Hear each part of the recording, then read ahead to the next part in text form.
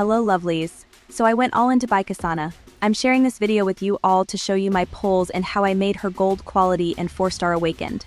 Watch this video with me to see if I got lucky or not. I won't talk during this video but you can see what was spent on the right side of the video.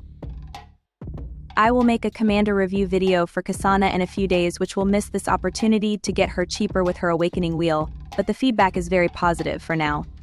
Anyway, let's not wait much longer and get to the video. Don't forget to enjoy, like, and subscribe, and if you have any questions, leave them for me with a comment.